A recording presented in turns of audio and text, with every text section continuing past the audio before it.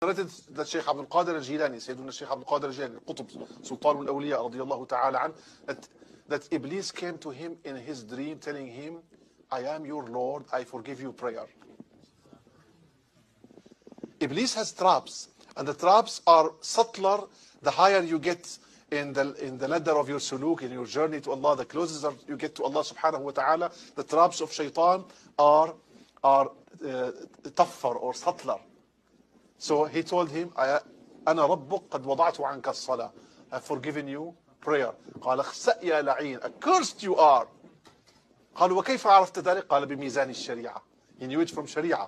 Allah will not contradict himself. Allah told prayer is fard. So Allah will not come to him in his dream telling him, no, it is not fard.